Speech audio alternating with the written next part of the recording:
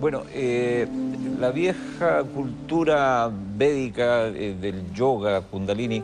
plantea que tenemos una energía eh, con una forma de espiral en la base de la columna que a través de prácticas antiquísimas se consigue ir subiendo, levantando, lo cual va activando cada uno de los chakras que tenemos, que son esos vórtices energéticos en nuestros cuerpos sutiles, y eso nos va ayudando también en la iluminación espiritual finalmente. Pero así como el ser humano tiene esta energía enroscada en, su, en la base de su columna, se supone que el planeta, que, análogamente se asemeja a un, a un ser humano,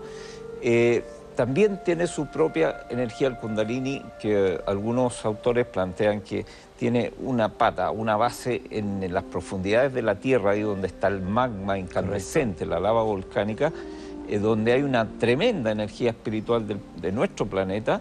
y el otro extremo entonces eh, normalmente está enfocado en un solo lugar del planeta y por miles de años estuvo entonces en los Himalayas y en el Tíbet y en el norte de la India.